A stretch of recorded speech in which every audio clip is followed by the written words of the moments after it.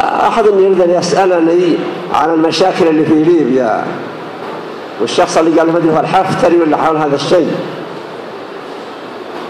هذا الحفتري هذا أنا سمعت كلامه يقول أنه ما كان يريد حكما ولا ولا. هذا كلام فاضي.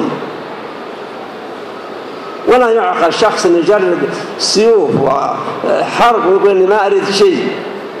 الذي لا يريد شيء يتفق مع جماعة البلد وعقلائهم.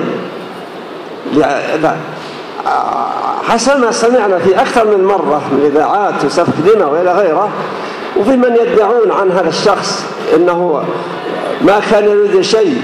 لماذا يجرد السيف أو المدفع؟ وينقل سمعت إنه ينقل عني أنا أقول قال ان أكثر عسكر معه. قلت إذا كان الناس كلهم معه يصير هذاك لو تولى السلطة صح أن يسمى حاكما ولو كان بالاغتصاب.